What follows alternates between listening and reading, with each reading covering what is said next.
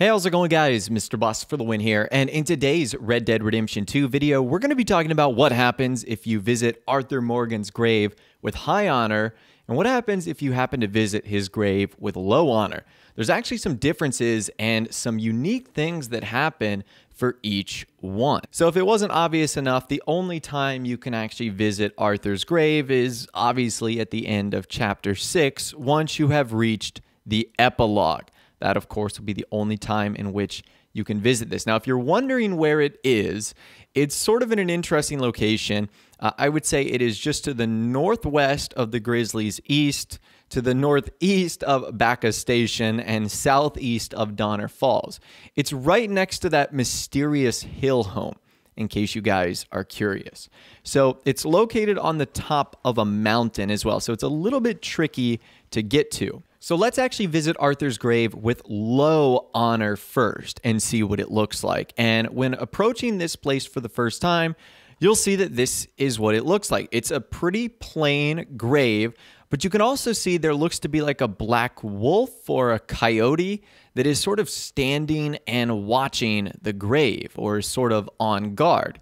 Now, we'll talk about what that might mean in a little bit but I certainly thought that was kind of interesting. Now, if you approach the grave or if you get close to it, the coyote will actually run away or the wolf will actually leave.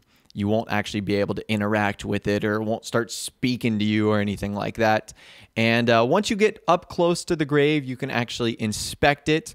Uh, believe it or not, visiting all nine graves of your fallen gang members in game is required to get 100% completion and also a trophy or achievement as well. And you can see here that it says, Arthur Morgan, blessed are those who mourn, for they will be comforted. So, a very simple line right there, and also on the surface level, a very simple grave. You can see just how beautiful the view is, though. You know, you can see the big snowy mountains, you can see the plains, and all the little towns and cities and stuff like that from this location. It really is a cool spot. However, I wanted to do a little bit more experimenting with this grave because, as you saw the first time, there was that sort of coyote or wolf that ran off as we approached.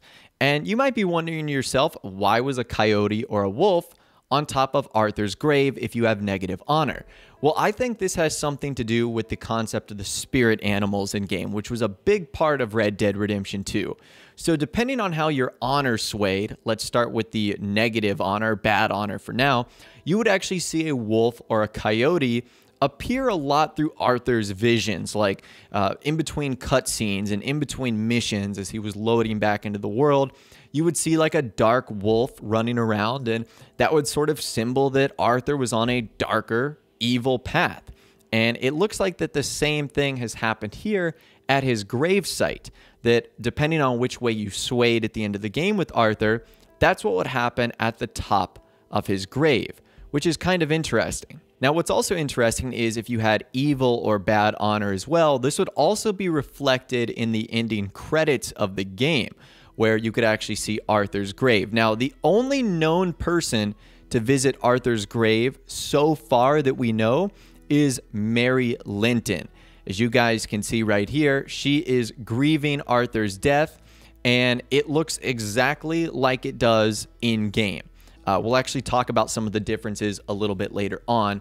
But as of right now, she is the only person other than us, who's John, to actually visit Arthur's grave. Again, a really sad story right there. So I told you guys I wanted to go back and do some more experimenting with that wolf or with that coyote, and I wanted to figure out a couple of things. Number one, what was the distance in which it would start running away from us, and is there a way in which we could prevent him from running away? Because I was thinking, you know, if this is Arthur's spirit animal, would he be able to interact with us? Would he be able to talk to us? So I really don't know what the distance is here, but as soon as you get relatively close to the grave, the wolf will end up, or the coyote will end up sort of running down this embankment right here. And there's really no way for you to catch up with it. It just sort of runs off, and there's no way for you to possibly catch up with it, unfortunately. So that was my first experiment. The second experiment I wanted to do, and I was not planning on doing this, I was actually using the scope of the rifle to see if I could get a more zoomed in view, but you actually cannot shoot at this coyote, which is kind of interesting. Now, it makes sense if, of course, this is Arthur. And if this is his spirit animal, you obviously wouldn't want to shoot his spirit animal. But I did find that kind of interesting that you couldn't actually shoot him, like the game physically would not let you. So I got a little bit closer, and this time I wanted to see if I could actually follow the wolf or the coyote. I still don't know what it is once it went down the embankment, and I actually ended up finding it this time. So it doesn't scurry away too far. And what's kind of interesting is even though you can't shoot the coyote, you can still study it. But what's also interesting is it doesn't have a star rating like all the other animals in the game do, like one, two, or three. It simply has none. Now, upon studying it, this was a California Valley coyote. I'm not sure if that's significant in any way or if that confirms that that is 100% Arthur's spirit animal. And after taking a quick tumble down the mountain, what's kind of interesting is I was able to get very close to this coyote without it really scurrying off. As you guys can see here, it was like next to me for a good bit, and then it eventually ended up running away. And I tried to track this coyote for as long as I could, but it eventually just got to areas that I couldn't get to. I got lost, I got confused. You know how it is when hunting animals in Red Dead Redemption 2. Sometimes you just lose them, and that's what happens. So, bottom line here, I don't think there's any way to catch up with the spirit animal on top of Arthur's grave, but it was sort of interesting to try and follow it around. And it is unique that it doesn't have any of those properties of typical animals in game. So now let's take a look at what happens if you visit Arthur's grave with good or high honor. And you can tell that there is a significant difference. So, for starters, there are these beautiful, sort of orangey pink flowers that surround the sort of tombstone itself, which looks really, really cool. So, obviously, that would indicate that Arthur was more honorable, was more lively. Uh, and you can also see that the spirit animal has changed from a wolf, what looks to be, to an eagle. So, the wolf or the coyote is no longer there, and now it is an eagle. And just like with the wolf, if you were to aim at the eagle, you cannot shoot it. You cannot do anything like that where you can harm it. And it doesn't have a star rating either, and it will just simply fly away. Now, obviously, there's no way to follow an eagle since we can't fly, but I did think that was kind of interesting. And upon examining the grave a little bit further, we can also see that the writing on the grave has changed too. It still says Arthur Morgan, obviously, but it says, Blessed are those who hunger uh, and thirst for righteousness. So it is much more uplifting than the version we saw if he actually has bad honor, which is certainly kind of unique. Uh, I definitely think the high honor one is a lot better, in my opinion. Again, that's just kind of what I personally think.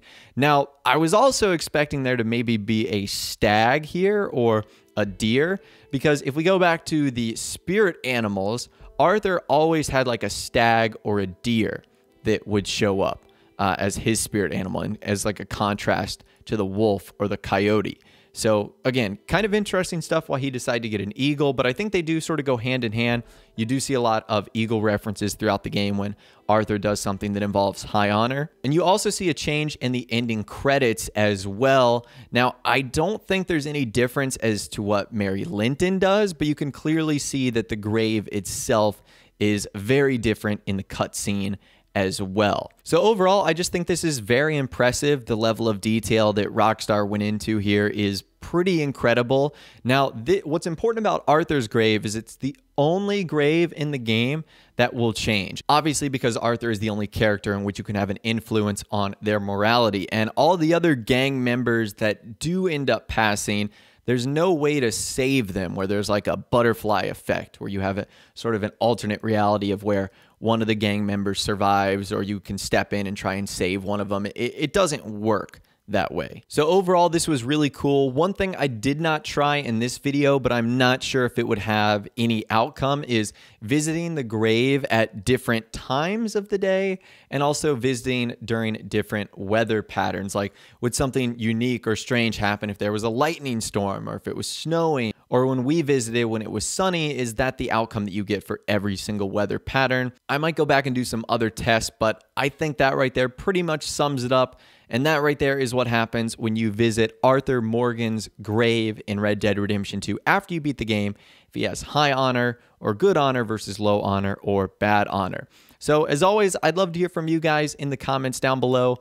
Let me know how you ended your game in Red Dead Redemption 2. Did you finish as Arthur with high honor, or did you finish as Arthur with low honor?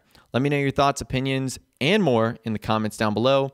I'd love to hear from you guys down there.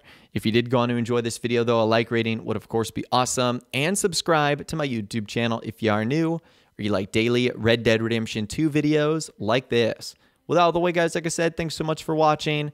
Take care, and I'll see you guys in the next video.